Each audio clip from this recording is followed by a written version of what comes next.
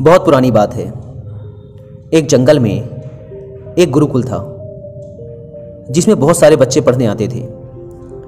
एक बार की बात है, गुरुजी सभी विद्यार्थियों को पढ़ा रहे थे।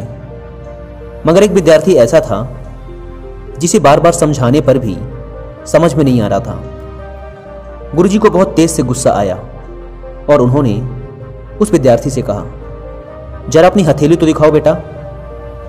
विद्यार्थी ने अपनी हथेली गुरुजी के आगे कर दी।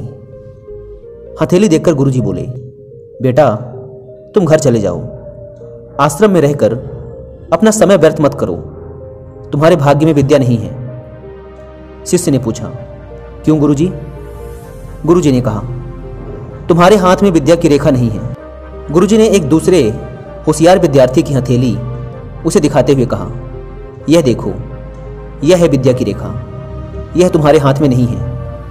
इसलिए तुम समय नष्ट ना करो, घर चले जाओ और वहाँ अपना कोई और काम देखो। यह सुनने के बाद उस विद्यार्थी ने अपनी जेब से एक चाकू निकाला, जिसका प्रयोग वह रोज सुबह अपने दातून काटने के लिए किया करता था। उस चाकू की पैनी नोक से उसने अपने हाथ में एक गहरी लकीर बना दी। हाथ लहूलुहान हो गया। तब वह गुरुजी से बोला, मैंने अपने हाथ में विद्या की रेखा बना ली है गुरुजी। यह देखकर गुरुजी द्रवित हो उठे और उन्होंने उस विद्यार्थी को गले से लगा लिया। गुरुजी बोले, तुम्हें विद्या सीखने से दुनिया की कोई ताकत नहीं रोक सकती बेटा।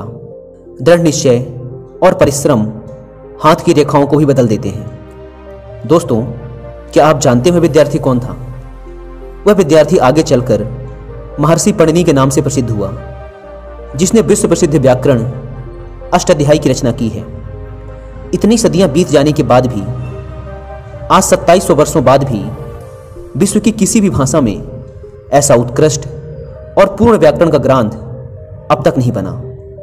तो दोस्तों, इस कहानी की शिक्षा यह है कि लोग चाहे जो भी बोलें, हम हर एक को गलत साबित करते हुए अपनी लगन और परिश्रम के दम पर जो चाहें, वो सब कुछ हासिल कर सकते हैं।